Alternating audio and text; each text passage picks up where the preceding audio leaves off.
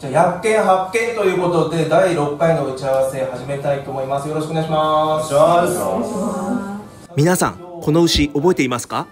薬研のマスコットキャラ候補のジェニファーです。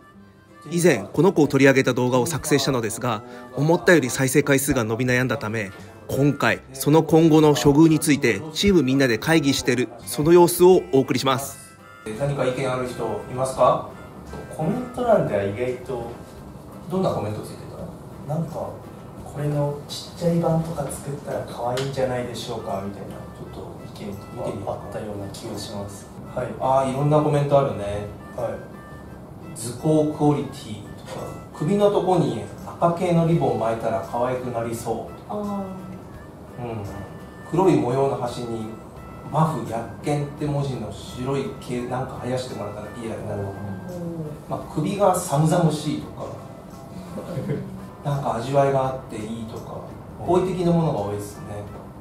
まあジェニファー特にねこのままアイデアがなければ廃棄になってしまうかもしれないので何かこう活躍する案が欲しいわけですよ。どういう活躍の場がジェニファーにあるかね。もう今薬研のこう入り口にドーンって立ってるわけではなく一番上に放置されちゃってるそうで、ね。まずはなんかどっかもうちょっと目立ちやすいところに置かせてもらうとか。薬研がフォトスポットみたいに書いてあ いいね。そうですね。ありがたいことに見学で。お客様が来たりとかね、はい。たまに学生とかもね見はい。学に来るからね、はい。それ撮ってもらって。るハッシュタグ薬研発見でつぶやいてね。それを SNS 写真に上げてとともにそうですね。行ってきましたっててもらえたらね。そうですね。そしたら認知度低い我々としてうん。大変嬉しいなと思います。ねジェニファーも目立つしね。あそれいいね。そうです所長に頼んでみましょう。はい。他にどんな活躍の場があるかね。そもそも動かないよね。動かないです。首だけちょっと動きます。首ちょっと動いて下に車輪実はついてるからちょっと移動はできるけどジェニファーどっか連れてく時とかちょっと今の車輪だとちっちゃいし、ジェニファうんー動けないので、うもっとこう動動けるというかいろんなところに使えるように、こうイラストになったりだとかあ着ぐるみができたら一番いいかなと思いますけどなるほそういったのができたらもっともっとイベントとかに出る機会があるのかなと思います。くんくんもねくんくん踊ったりできるし イラストにもなってるし、ね、ジェニファーをイラスト化してみるはい。そうした方が確かにジェニファーどんいろんなとこ連れてくよりもイラスト化した方が、、はい。ろんなとこで使ってもらえるっていう、はい。ね、汎用性があるというそうです。うん、あとはさっき言ってた着ぐるみ、まあ、ジェニファー着ぐるみというのを作って動けるようにする。それもいいね。予算がね。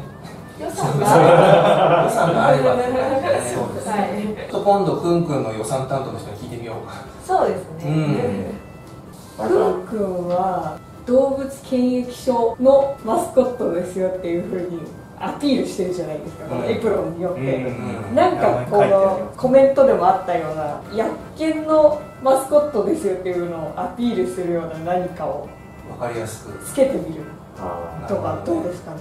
今のままだとただの牛。う ん確かにね。薬研のマスコットって分かるような何かが欲しいはい見た目でも分かるようなものが欲しいってことだね、医薬品の要素を取り入れるために注射注射を注射をちょっと添えてみる。添えてみる。首周り寂しいってコメントもあったんでそういうなんか注射のネックレスみたいな。そうそうそう。なるほど。なんか薬注射のね薬っぽい何かをね錠剤でもカプセルでもアンプルでもいいから。なんか巻いてぶら下げてあげたい気は確かにしてきました。なるほど。牛が牛がよくこう鈴みたいのつけてるあ牧歌的なね、はそれの代わりに薬っぽいものをつけてあげるとかね。薬の首飾り。